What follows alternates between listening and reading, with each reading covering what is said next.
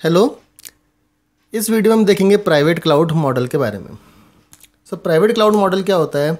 In this the system and the services are accessible only within the organization जो organisation का part है, सिर्फ़ वही लोग इसको एक्सेस कर सकते हैं।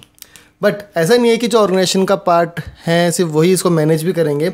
So it can be managed by third party also so manage हो सकता है कि थर्ड पार्टी कर रही है बट जो सिस्टम और सर्विसेज़ हैं एक प्राइवेट क्लाउड मॉडल के, उनको कौन यूज़ करेगा? सिर्फ़ ऑर्गेनाइजेशन के अंदर के लोग।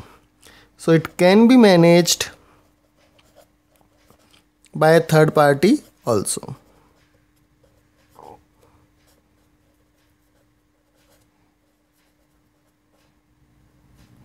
ठीक है?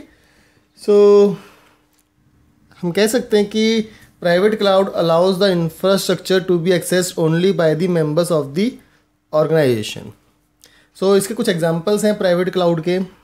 सो so, एग्जांपल्स कौन कौन से हैं प्राइवेट क्लाउड के वो हम देखते हैं अब यहाँ पे। सो so, एग्जांपल हैं जैसे कि माइक्रोसॉफ्ट प्राइवेट क्लाउड प्रोवाइड करता है। Then we have this VMware ये भी प्राइवेट क्लाउड प्रोवाइड करता है। Elastra private cloud is there one example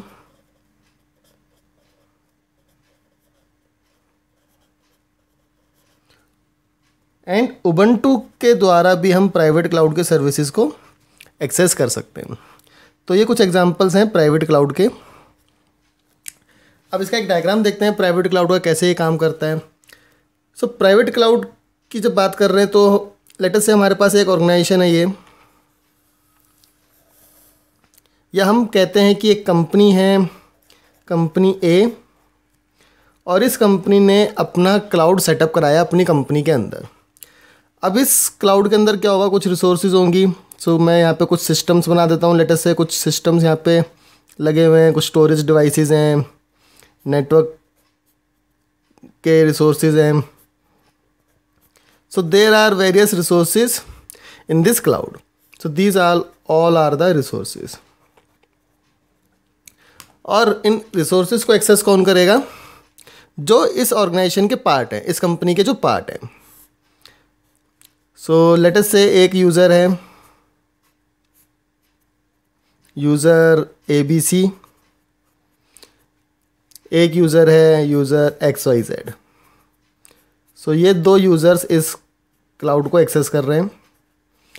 अब इसमें एक चीज़ को आपको ध्यान रखना पड़ेगा that both of these users both the users should be member of organization और कंपनी ए जिसका क्लाउड है। Should be member of company A तभी वो इसको एक्सेस कर सकते हैं। सो so, ये तो हो गया प्राइवेट क्लाउड कैसे है? अब इसमें देखो अगर कोई भारी इसको एक्सेस करने की कोशिश करेगा लेटेस्ट से एक यूज़र है जिसको मैं दे रहा हूँ नाम एम सो एम यूज़र है जो इस कंपनी का पार्ट नहीं है। अगर वो इसको एक्सेस करने की कोशिश करेगा तो इसको एक्सेस नहीं कर पाएगा। So there will be an some sort of error और ये सर्विसेज़ इसको एक्सेसिबल होंगी ही नहीं। सो so, ये था प्राइवेट क्लाउड का एक सिंपल सा डायग्राम जिसकी मदद से आप समझ भी सकते हो और आपको एक्सप्लेन करने में काफ़ी आसानी रहेगी। अब प्राइवेट क्लाउड के हम देखते हैं कुछ बेनिफिट्स और जनरली हम जो बेनिफिट्स देख रहे हैं वो देख रहे हैं प्राइवेट क्लाउड के बेनिफिट्स हम ओवर पब्लिक क्लाउड मॉडल तो सबसे पहली बात तो अगर एक बाउंड्री के अंदर रखा हुआ है ये पूरा क्लाउड मॉडल तो इसमें जो सिक्योरिटी है वो ज़्यादा होगी। So we can write high security and privacy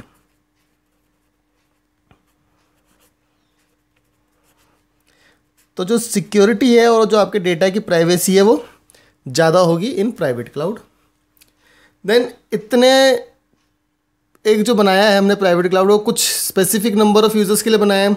So we have more control on the private cloud private cloud के ऊपर जो कंट्रोल है वो थोड़ा ज़्यादा होता है। Then cost and energy efficiency so cost and energy efficient होता है ये।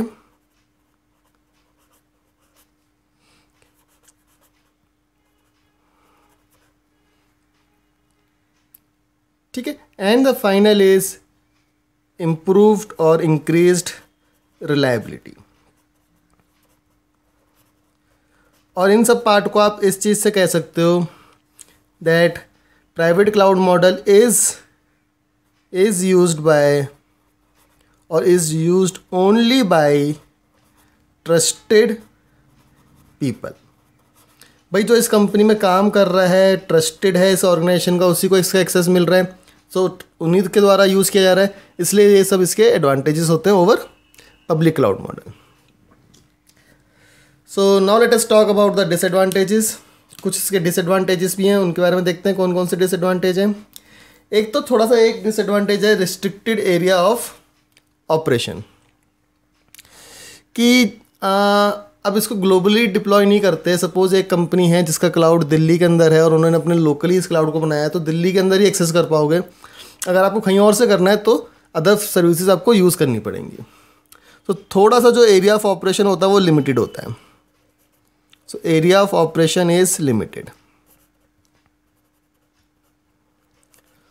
then price is more अब जो थर्ड पार्टी आएगी, जो इस प्राइवेट क्लाउड को बनाएगी, उसकी प्राइसिंग भी इसमें ऐड हो जाएगी और आपको एक नया हार्डवेयर सेटअप करना पड़ेगा पूरा तो प्राइस जो है वो बढ़ जाता है। देन स्केलेबिलिटी इज़ लिमिटेड और यू कैन से रिस्ट्रिक्टेड